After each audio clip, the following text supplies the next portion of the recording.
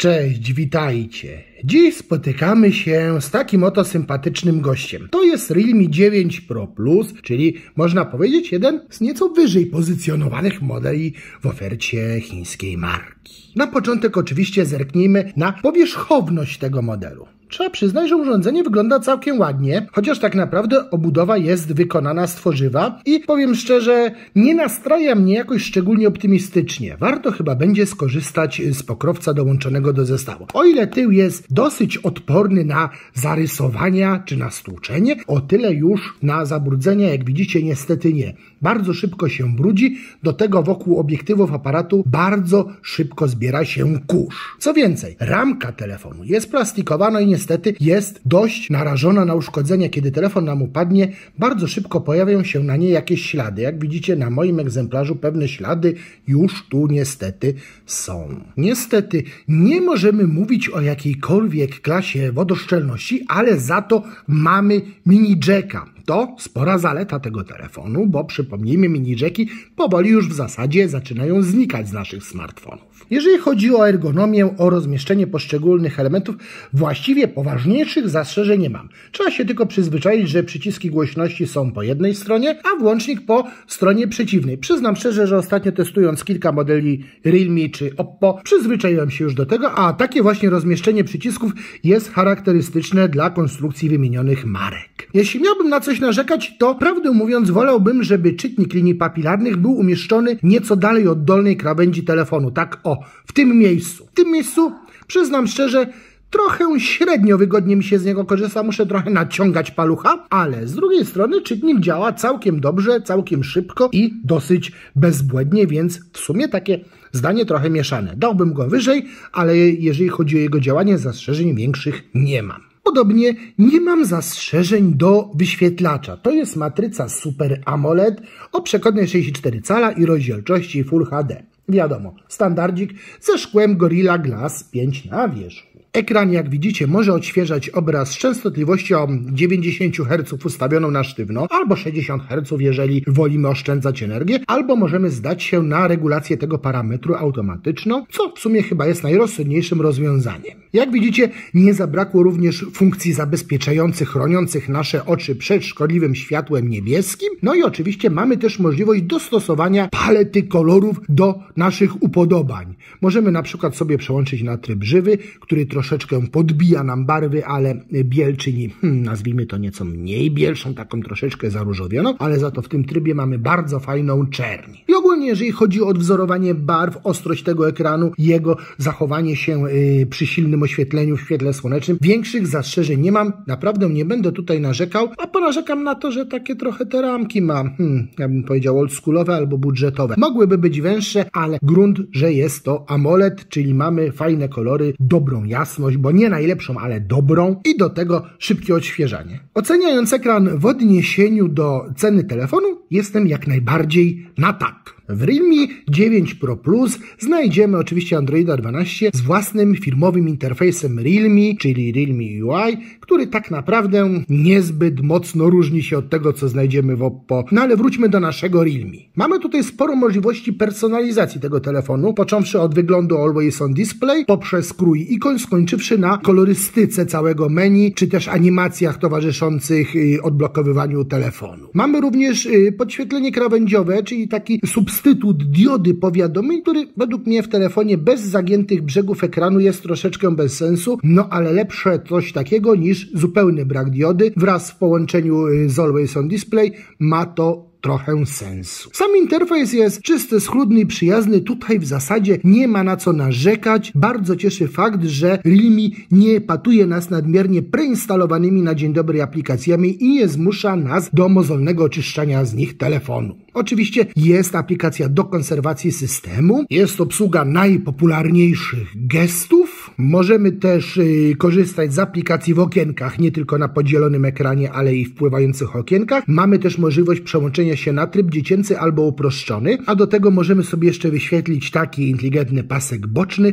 z najpotrzebniejszymi skrótami. Z ciekawostek, gdybyście sobie już kupili ten telefon, warto co jakiś czas zajrzeć do laboratorium Realme, gdzie pojawiają się różne eksperymentalne funkcje. Na przykład można sobie zmierzyć tętno za pomocą czytnika linii papilarnych. Jak to to wszystko pracuje? Słuchajcie, całkiem nieźle. Mamy tutaj Mediateka Dimensity 920 i pamięci, co prawda nie te najszybsze, bo jest DDR4X w przypadku RAMu i UFS 2.2 w przypadku pamięci wewnętrznej. Mój egzemplarz występował y, w tym nieco słabszym zestawie pamięci, czyli 8 plus 128 GB, ale warto zauważyć, że jeszcze tutaj jest tradycyjnie już dodatkowy RAM wirtualny. Można sobie dołożyć teoretycznie 5 GB y, RAMu wydzielonego z pamięci wewnętrznej telefonu. Jak on działa, jak on się spisuje, jak wypada w benchmarkach? Słuchajcie, generalnie dobrze. To nie jest demon prędkości, ale nie ma ambicji nim być i nie musi nim być. Ważne, żeby na co dzień pracował dosyć płynnie i tak właśnie pracuje. Nie zauważyłem jakichś poważniejszych przycinek, chociaż czasem smartfonowi zdarzało się na sekundkę zamyśleć. Czasem zauważyłem też drobne przycinki w animacjach interfejsu.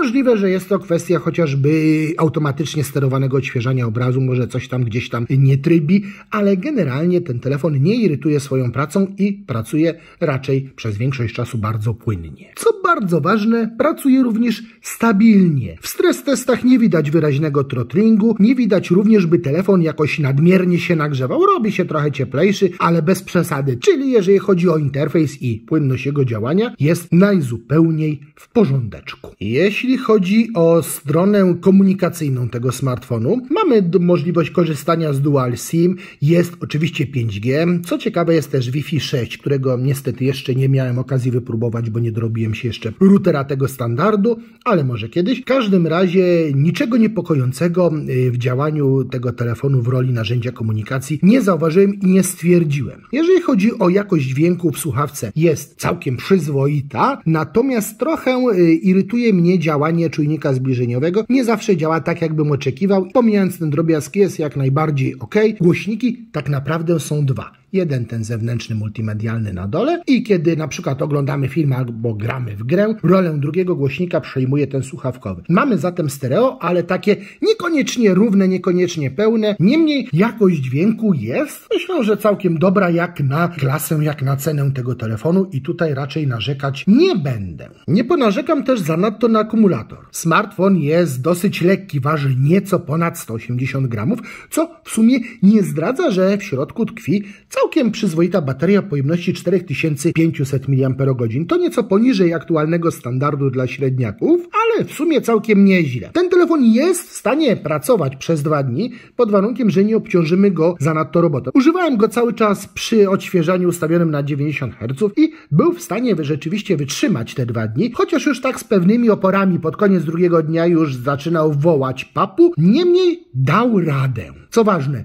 bardzo niskie temperatury, y, przy których miałem okazję ten telefon użytkować, nie wpływały jakoś drastycznie na osiągi akumulatora. Owszem, czas pracy się skracał, ale nie jakoś tam strasznie. A tym, co najbardziej mnie cieszyło, było szybkie ładowanie za pomocą tej, no dosyć jednak pokaźnej i dosyć ciężkiej ładowarki. Ta 60W pecynka jest w stanie napełnić ten smartfon w nieco ponad 40 minut, chociaż już 15-minutowe ładowanie dobije nam niemal do połowy akumulatora, także jest całkiem dobrze. Niestety zabrakło ładowania bezprzewodowego. A skoro jesteśmy przy brakach, to przypomniało mi się jeszcze, że niestety nie ma tutaj miejsca na kartę microSD. Kwestii aparatu fotograficznego Realme 9 Pro Plus zafundował mi małą zaskoczkę. Przyznam się szczerze, że nie oczekiwałem, że zdjęcia będą aż na tyle dobre. Co tu Realme wpakowało? Przede wszystkim matrycę główną IMX 766, 50 megapikseli z przysłoną 1.8, do tego z podwójną stabilizacją i optyczną i cyfrową. Kolejny aparat baharat to szerokokątny IMX 355 z matrycą 8 megapikseli, przysłoną 2.2 i polem widzenia 119 stopni, a na koniec jeszcze, żeby nie było zbyt biednie, dołożono aparacik do makro 2 megapikselowy. Selfiaki robi nam natomiast aparat 16 megapikseli z przysłoną 2.4. Zdjęcia dzienne są w zasadzie super pod każdym względem. Są ostre, są dobrze doświetlone, czasem aż za dobrze, kiedy przypadkiem ustawimy się pod słońce. Kolory są jak należy, no absolutnie nie ma się tutaj do czego przyczepić. Nie ma się również do czego przyczepić w przypadku aparatu szerokokątnego. Oczywiście widać, że ma on gorszą przysłonę i te zdjęcia nieco różnią się zarówno jasnością, jak i y, tonacją kolorów od tych wykonywanych głównym aparatem, ale w sumie jest całkiem nieźle i nie widać jakiegoś drastycznego spadku jakości odwzorowania detalu w skrajach kadru, co jest w sumie charakterystyczne dla obiektywów szerokokątnych. Cyfrowy zoom w sumie też daje radę, aczkolwiek nie wykraczałbym poza to dwukrotne przybliżenie, które jest proponowane na głównym pulpicie aparatu. Jeżeli chodzi o makro, no to cóż, jest poprawnie od dwumegowego aparaciku nie można oczekiwać zbyt wiele. Spisuje się on tak jak mnóstwo innych aparatów tego rodzaju, które powszechnie spotykamy w aktualnie dostępnych średniakach. Jeżeli chodzi o zdjęcia nocne, warto zauważyć, że są po prostu dobre i nie zawsze musimy korzystać z trybu nocnego. Ten przydaje się w fotografii miejskiej, gdzie zdarzają się w kadrze mocno prześwietlone, jasne punkty. Chodzi o to, żeby je nieco przytłumić, a wyciągnąć trochę y, detali z tła tego, które pozostaje nieco w cieniu. Można by zaryzykować twierdzenie, że czasem nawet ten tryb nocny nieco przesadza i robi nam z nocy dzień, no ale tu już musimy wypróbować w praktyce na konkretnym kadrze. Warto zrobić jedno zdjęcie z trybem nocnym, jedno w automacie i wybrać sobie to, które bardziej nam odpowiada. Generalnie do jakości fotek w nocy również większych zastrzeżeń nie można mieć. Selfiaki to po prostu typowa przeciętność. Tutaj niespecjalnie powinniśmy wybrzydzać, ale i chwalić też specjalnie ma czego. Zdjęcia są po prostu poprawne, przyzwoite, no i tyle. Jeżeli chodzi o nagrywanie filmów, to oczywiście można nagrywać 4K, ale niestety tylko w 30 klatkach. 60 jest dostępne co najwyżej Full HD. Ale to nie jest wielki problem, bo filmy w sumie też wychodzą całkiem przyzwoicie. Można skorzystać ze sztucznej inteligencji, która w razie potrzeby przejdzie nawet w HDR, ale ona jest dostępna jedynie przy rozdzielczości co najwyżej Full HD. Podobnie trudno, że z rozmywania tła możemy korzystać niestety tylko w HD. No to już jest zupełnie bez sensu. Darujmy to sobie zatem, ale filmy w sumie są całkiem przyzwoite, obraz jest płynny, ale jeśli nagrywamy w ruchu, to lepiej pozostać y, w rozdzielczości Full HD, kiedy obie stabilizacje, zarówno cyfrowa, jak i optyczna, działają wspólnie. Y, przy 4K działa tylko y, stabilizacja optyczna i w sumie te ujęcia wypadają nieco gorzej, no jednak widać te drgania i nie zawsze udaje się je zniwelować tak, jakbyśmy oczekiwali. Czy zatem warto skusić się na Realme 9 Pro Plus? Telefon ten znajdziecie już od 1600 zł, ale za wersję najsłabszą 6 plus 128. Trochę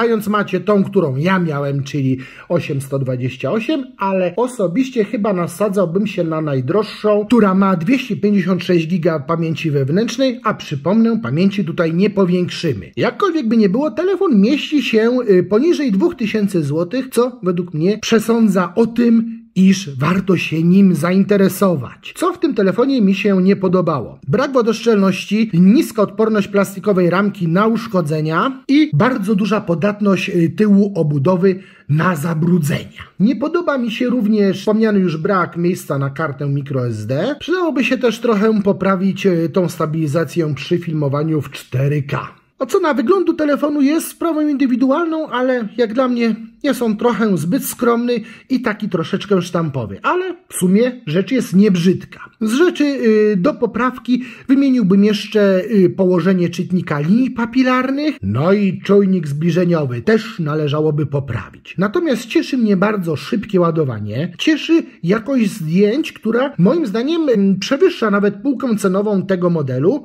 Przypomnę, między 1,5 a 2000 on się zawiera. Tu w zasadzie mamy zdjęcia na poziomie jeszcze oczko wyższym Naprawdę bardzo fajnie fotografuje. Do tego ma jeszcze dobry wyświetlacz i w sumie osiągi baterii też są nie najgorsze, podobnie jak wydajność tego telefonu. Czyli sumarycznie ja bym go polecał, aczkolwiek pamiętajcie o tych pewnych niedociągnięciach, które tutaj wymieniłem. A teraz nasz sympatyczny koleżka wraca do opakowania, a ja zapraszam Was na kolejne filmy i żegnam się z Wami. Do zobaczenia. Cześć.